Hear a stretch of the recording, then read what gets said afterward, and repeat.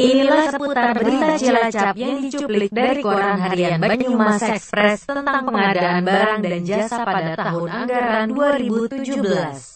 Inilah informasi selanjutnya. Para kepala SKPD wajib pelajari dan pedomani kitab pengadaan barang dan jasa pemerintah.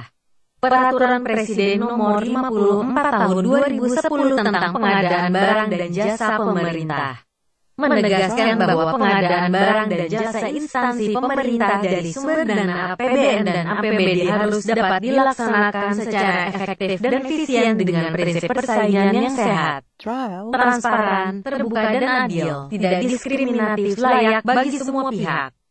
Dan hasilnya dapat dipertanggungjawabkan dari segi fisik, keuangan maupun manfaatnya bagi kelancaran tugas pemerintahan dan pelayanan masyarakat.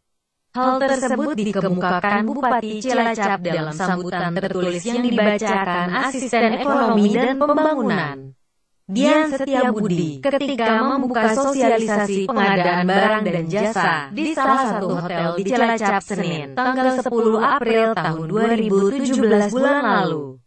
Lebih lanjut dikatakan, pengadaan barang dan jasa yang dilakukan oleh instansi pemerintah ini meliputi pengadaan barang, jasa pemborong, jasa konsultasi dan jasa-jasa lainnya.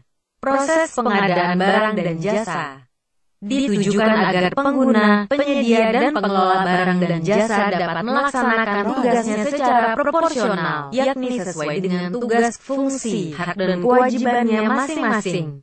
Dia menegaskan, peraturan Presiden nomor 54 tahun 2010 dapat dikatakan sebagai kitab penyelenggaraan proses pengadaan barang dan jasa pemerintah. Untuk itu, wajib hukumnya bagi para kepala SKPD untuk mempelajari dan mempedomani peraturan tersebut. Hal ini penting Mengingat dalam peraturan presiden ini banyak mengandung perubahan-perubahan yang cukup signifikan terkait dengan kebijakan pengadaan barang dan jasa pemerintah yang nantinya akan dilakukan melalui LE. Lang secara elektronik sehingga pengadaan barang dan jasa pemerintah harus dilakukan secara terbuka melalui pengumuman kepada masyarakat pada setiap awal pelaksanaan anggaran. Ujar. Bupati berharap kepada seluruh peserta untuk menjadikan sosialisasi peraturan pengadaan barang dan jasa kali ini sebagai satu momentum dalam membangun komitmen bersama mewujudkan pemerintah KAP. Upaten Cilacap yang bersih dan bebas dari KKN, sehingga proses pengadaan barang dan jasa di Kabupaten Cilacap dapat berjalan dengan baik sesuai dengan aturan yang berlaku. Langkah ini diambil sekaligus sebagai salah satu upaya pemerintah Kabupaten Cilacap untuk mendapatkan opini pemeriksaan wajar tanpa pengecualian. WTP oleh BPK atas laporan keuangan pemerintah daerah LKPD.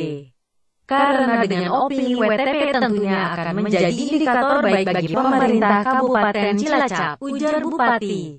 Kepala Bagian Layanan Pengadaan Setda Kabupaten Cilacap, Bayu Prahara menyampaikan, sosialisasi pengadaan barang dan jasa di lingkungan Pemkap Cilacap dimaksudkan untuk merefresh kembali pemahaman tugas dan wewenang pengguna anggaran, kuasa pengguna anggaran, dan pejabat pembuat komitmen dalam pelaksanaan pengadaan barang dan jasa. Sosialisasi bertujuan untuk meningkatkan pemahaman dan pengetahuan tentang proses pengadaan barang dan jasa pemerintah sekaligus untuk meningkatkan kemampuan peserta dalam memahami prinsip-prinsip pengadaan barang dan jasa pemerintah.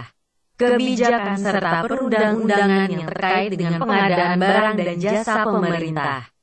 Sosialisasi dilaksanakan selama 2 hingga Selasa, tanggal 11 April tahun 2017 bulan lalu, diikuti 110 peserta yang terdiri dari 55 pengguna anggaran, KPA dan 55 orang pejabat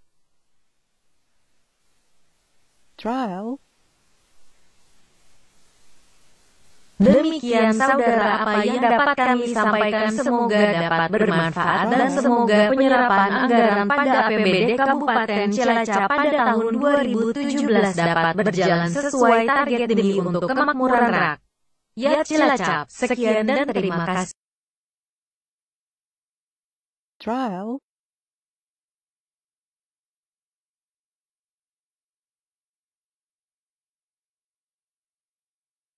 trial.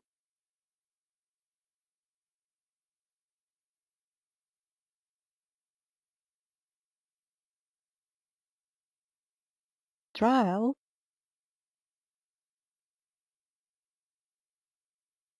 Trial.